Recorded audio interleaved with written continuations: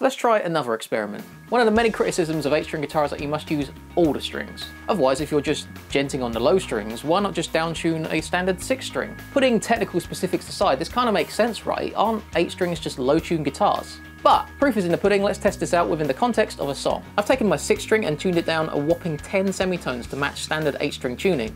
I beefed up the string gauge and gave it a quick setup, but other than that, there's no modifications to the 6 string. So, what does it sound like?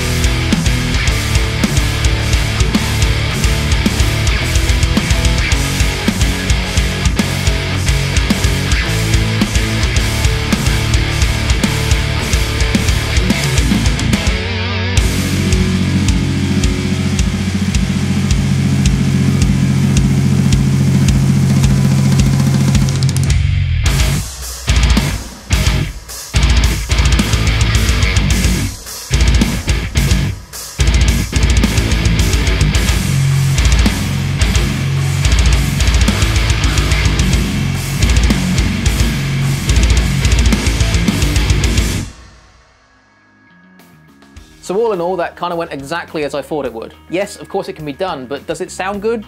Not really. Compared to the 8, the 6 string was dull sounding and it was a complete nightmare to keep in tune. The dullness is at least in part due to the different pickups on each guitar, but even acoustically the 6 string was very, very dead sounding. As for the tuning issues, it's for sure a result of the scale length being way too short to cope with the low tuning. This is specifically the reason that 8 strings come with a extended scale length. They often have 27, 28 inch and sometimes like mine a 30 inch scale length to avoid these tuning problems. So yeah, it, it didn't really work, but thanks for watching and this was a fun experiment anyway. Maybe check out the last experiment I did where we swapped the bass and guitar around. If you want to see more videos, please hit the subscribe button and maybe check out my Patreon page for extras.